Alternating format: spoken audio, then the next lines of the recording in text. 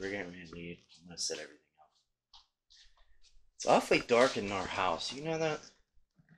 I realized that. Huh? Yes, but it's almost 11 o'clock in the morning, and it is like completely dark.